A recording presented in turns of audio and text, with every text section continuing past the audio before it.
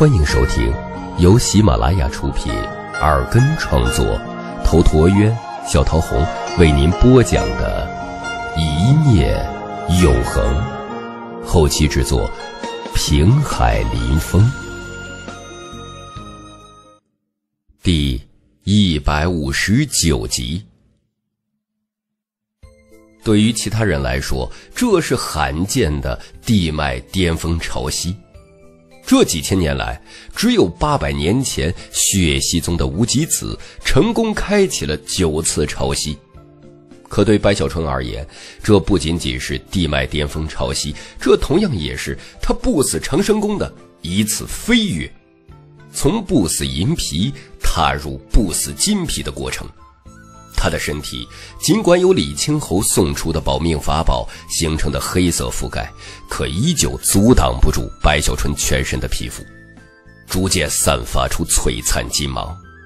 不死长生宫不死卷的第一层，在这一刻，白小春即将修炼成功。他的生命第一层桎梏已然突破。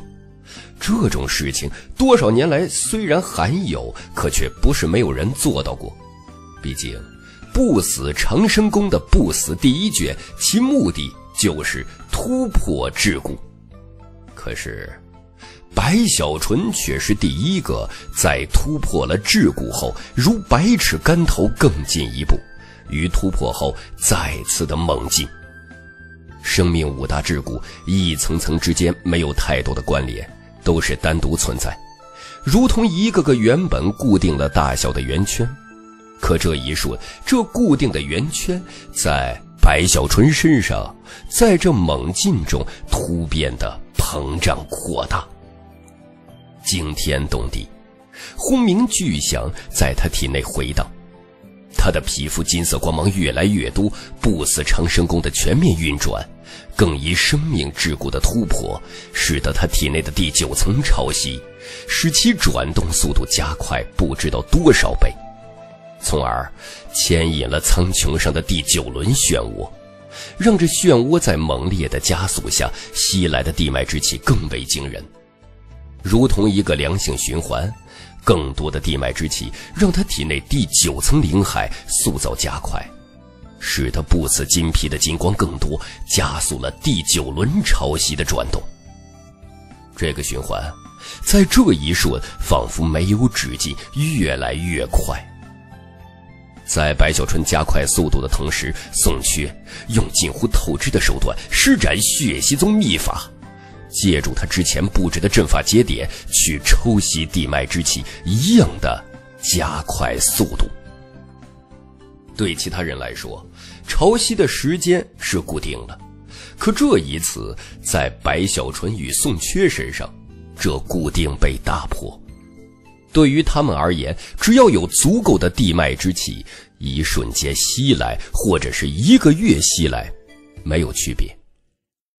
就在这时，宋缺所在之地巨响滔天，他的第八轮潮汐漩涡，尽管有鬼牙在四周试图轰开防护干扰，可依旧还是成功。瞬间，他体内第八轮潮汐爆发。宋缺在闭关之地，眼中露出癫狂与激动。第九轮潮汐开，随着低吼，宋缺闭关之地外面的鬼牙面色一变，立刻就看到天空上，宋缺的八轮漩涡上方，此刻赫然出现了第九轮漩涡。天无二日。但这一瞬，云界世界的苍穹中，却是同时存在了两轮九层潮汐漩涡，触目惊心，撼动心神。整个云界世界的所有人全部轰动，而其他几个，包括上官天佑在内的，依旧试图维持潮汐开启的弟子，在这一瞬面色全部苍白，绝望中。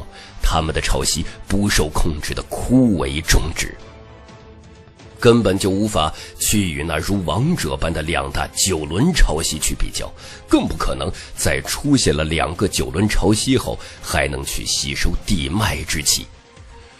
我不甘心呐！上官天佑牙齿都要咬碎了，嘶吼疯癫。他的潮汐终止在了第五轮，选择筑基之后，他眼中杀机滔天。他有无尽暴虐要去宣泄，此地人多，他不能选择白小纯，于是与鬼牙一样选择了宋缺。此刻咆哮，筑基之后蓦然冲出，直奔宋缺所在之地。白小纯，你去死吧！宋缺，你也去死吧！他的心底在怒吼，筑基速度全面爆发。还有赵柔，此刻也苦涩的不得不放弃。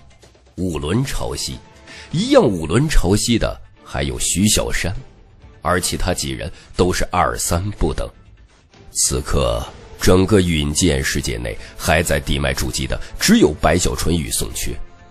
这些最后一批潮汐枯萎的弟子，一个个也都带着怒意与憎恨，要么选择白小纯，要么选择宋缺。可总体来说，选择白小纯的多了一些，毕竟墙倒众人推。如今的白小纯，在所有人看去依然是岌岌可危，而丹西宗赵柔选择的是击杀白小纯。可就在他结束朝夕的刹那，却突然发现，被自己炼制成傀儡毒师，放在此地守护自己的公孙婉儿，居然消失了，无影无踪，没有任何痕迹，就连感应也都消散。这一幕让赵柔内心一震，不敢深想，带着惊疑不定，立刻飞奔白小纯那里。再快一些，再快一些！白小纯闭着的双眼内血丝弥漫，他焦急呀，他要更快一些，他不能让洞府外的同门为守护自己而付出生命。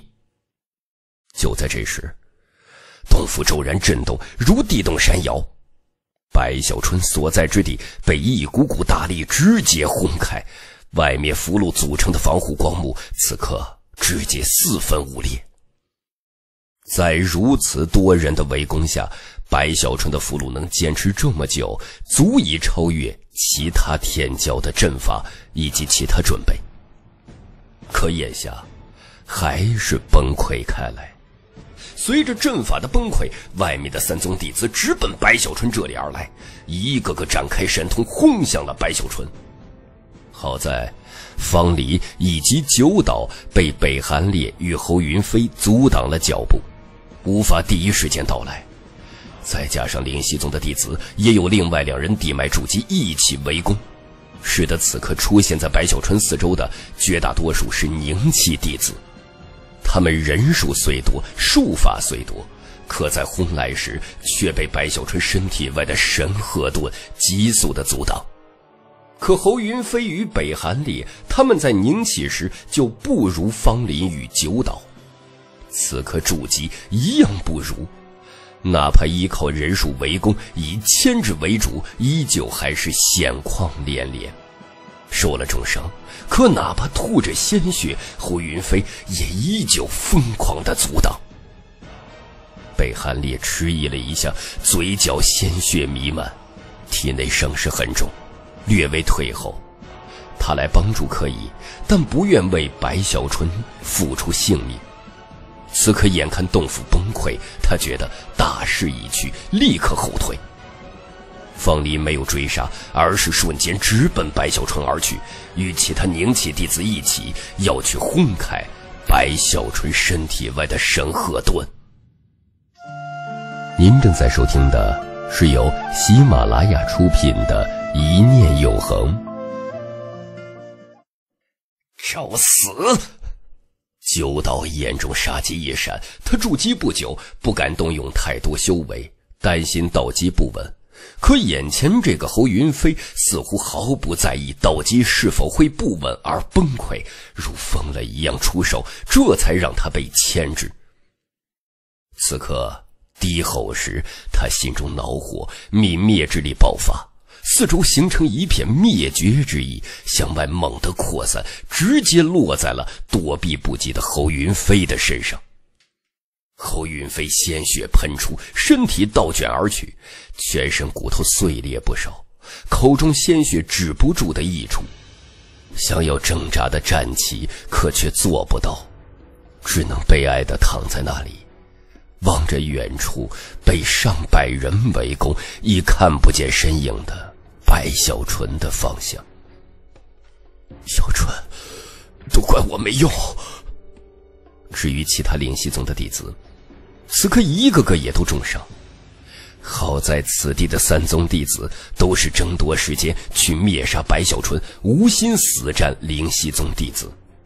毕竟这些三宗弟子都想第一个灭杀白小纯，因为靠得越近，白小纯死亡时爆发出的地脉之气吸收的就越多。而这些近乎力竭的灵犀宗弟子没有多少战力，只能看着被上百人围攻的白小纯，苦涩中露出悲伤。巨响惊天，风林与九岛本就是天骄，又是七轮潮汐地脉筑基，带着上百凝气弟子在这轰击下，白小纯身体外的神鹤盾快速的出现了一道道裂缝。白小纯，你去死！将你的地脉之气回归世界，方某虽无法继续朝西，可却能让我丹西宗弟子再多几个地脉筑基。白小纯，绝不允许你成功凝聚！